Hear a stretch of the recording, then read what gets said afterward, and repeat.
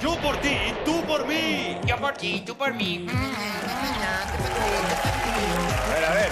Muy bien, te explico. La idea es que vamos a hacerte preguntas sobre intimidades de Pablo. Y a Pablo preguntas sobre ti también de tus intimidades, ¿vale? Vale. Así os conoceremos más a fondo a los dos, ¿vale? Como decía Rafael, es que sabe nadie. Hoy lo sabremos. Venga, empezamos eh, preguntándote a ti una pregunta sobre Pablo. A ver, mira, ¿en cuál de estos deportes es experto Pablo Motos? Te digo opciones.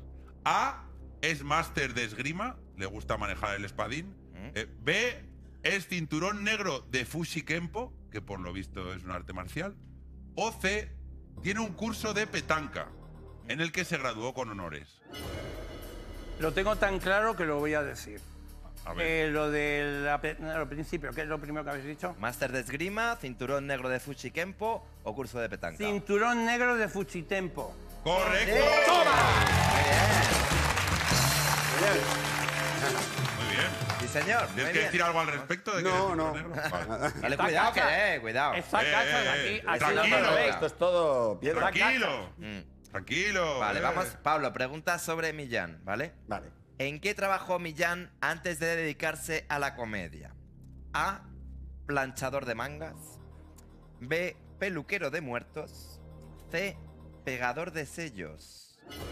La lengua. Ahora ya más Ya complicado. esto no podrías, ¿no? A ver, Pablo. Venga. Yo digo que pegador de sellos no. Mm. ¿Se queda Eh, peluquero? Perdona, ¿muertos? ahora pegado de serio no, pero antes Antes podía ser, ¿eh? yo con la lengua he hecho muchas cosas. estoy seguro, estoy seguro que tienes que haber No sido- te quepa la menor dura. Yo digo peluquero de muertos. ¡No! ¡Planchador de manga! Yo qué sé. Planchador de ¿cómo es de mangas. Tampoco es una profesión muy habitual, ¿no? Pero es que yo en el internoide que estuve con los padres salesianos, eh, ellos es- o- estudian oficialía industrial, entonces había cuatro oficios y uno de ellos era eh, sastrería. Entonces los curas, vaya usted a saber por qué, decidieron que yo tenía que ser sastre. Y esa es mi profesión. Y me colocaron planchando mangas nueve horas de- o- diarias en Almacenes Santa Clara, filial del corte de Ingles, de la cual me despedí a los nueve meses. Pero eso, uf, horrible. Guau. Sí. Bueno, bueno, 1-0. Bueno, pues mira. Te Uno- gano, uno- 1-0, 1-0. Venga, a ver. Siguiente pregunta. Cuando Pablo Motos ve vídeos de internet, ¿cuáles son sus preferidos? De estas opciones me refiero, no de todos los vídeos de internet, ¿vale? A. Ve vídeos de operaciones de cerebro. B. Ve vídeos de gatitos bostezando. O C. Ve carreras de tractores que le recuerdan a su infancia y. Y a sus detractores. Y además, y a sus detractores, porque el campo está lleno de tractores. Eh, bueno, Complicado, ¿eh? bueno, yo creo que em, veías operaciones de cerebro. Sí. Correcto. ¿Cómo estás, macho? ¿Cómo estás? Este está zumbao, este está zumbao. Sí, un poco sí, la verdad que sí. No, pero me, me fascinan las operaciones de cerebro porque se hace con la, la persona tiene que estar despierta. Sí, no, Ah, ya, El ya. cerebro no tiene sistema. Sí, sí, sí. Qué bien, mucho más inquietante. Da igual. Oye, Pablo, una Qué cosa. agobio. ¿Y tú te tomas la medicación? ¡Oh, qué buen vídeo el de ayer! Madre mía, no se dormía ni para No me, no me extraña que vayas con hormigas. Claro. Bueno, Bien, vamos con la siguiente, Pablo. la siguiente, sí. ¿Qué político organizó una comida para que martes y 13 entretuviesen a su hijo? A. Felipe González. B. Fraga. O C. Alfonso Guerra. ¿Cuál de los tres Wow. montó todo un pollo? Eh, sea la que sea, es muy buena. Es muy heavy. No, no. ¿Puede ser mentira o no? No, No, Una, de tiene las, que ser una de las- una de las tres Una es de verdad, las ¿no? tres es cierta, sí. Eh, Felipe González. ¿Es lo que dices? Un momento. Vale, no. ¿Es no. la que quieres de verdad? Yo no, no, la que te hay que decir eres tú. No, pero como me has dicho con el pie. No te he dicho No, joder, me ha salido. Venga, a ver. no. Creo que Pablo, ¿es tu última oferta, Pablo?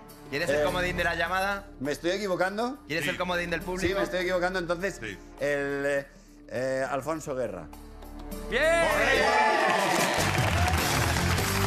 Pero ¿qué pasó ahí? O sea, ¿cómo es posible esto? ¿Qué pasó aquí? ¿Esto cómo fue? Bueno, pero esto está contado de aquella manera, No, para claro, explica- al claro, niño. explícalo tú que lo has hecho así en modo Bueno, test. ¿Se puede explicar o cómo? Sí, Sí, cuenta, cuenta. Pues es que nosotros queríamos contratar a, a Alfonso Guerra cuando era eh, vicepresidente, era, ¿no? Sí. Eh, para, mm, para que viniera a nuestro programa viéndonos, no sé si os acordáis, una entrevista podría estar bien. Entonces vino del- la, la idea de ir, que nos invitaba a comer a un restaurante Sí. carísimo de la muerte, que está por la calle Princesa. Entonces llegamos allí, José Mayo, y oye, pues allí, venga, venga guardaespaldas, venga guardaespaldas. Yo no he visto a nadie que guarde tanto las espaldas de alguien tan, tan pequeño. Pero bueno, entonces llegamos a un comedor que te hiper, mega, super pez, o sea, un sitio enorme, maravilloso. Entonces apareció Alfonso Guerra con un niño, Sí. que era su hijo. Entonces él era muy fan nuestro, de, de entonces, de Martes y De Martes y 13. 13. Entonces el niño, que, que fue la sorpresa del padre, se queda, en no, para que, no, no nos citó para que le entretuviéramos al Claro. niño, sino que el niño le dijo, ¿a ti te gustaría eh, conocer a Martín? Y dice, ay, sí, papá, papá. Y entonces lo llevó. Y estuvimos toda la comida que, hazme de esto, hazme de lo otro. Y todo el rato estuvimos haciendo el carnero. A mí me cuesta muy poco hacer el carnero, bueno. Y eso fue lo que pasó. Entonces ya a los postres, después de haber hecho de todo ya, le dijimos, oye, Alfonso, entonces vienes al, al programa. Dijo, nah, no. Os salió bien. Se puede interpretar que hizo abuso de ello, No, oye. no, no, no. Pero bueno, Un poco de jerolismo, pero, No, pero bueno. invito a comer, invito a comer, que es lo Ay, que da- importante. que bueno, pues esto no lo recuerdo yo. Pa- ¿No pagó? ¿No pagó? Yo creo que pagó el niño. El guardaespaldas. Pincho, creo que Oye, le llamaban Pincho. Que Pablo, no sé si lo estás viendo, pero creo que eh, acaba de llegar una encarna. Sí, ha llegado una encarna. Sí, ha llegado una encarna y creo que trae empanadilla, Se ¿eh? ve en la, en la ventanita. Creo que está por la puerta. Un momento, ¿eh?